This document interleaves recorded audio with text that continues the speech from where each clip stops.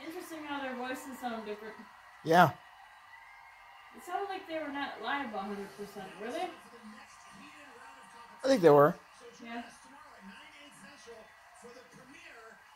Like Gwen's voice sounded different this time.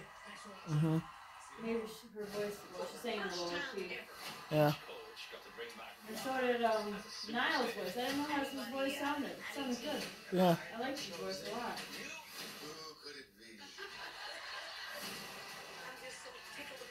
You're back and on my team. you're just rewarding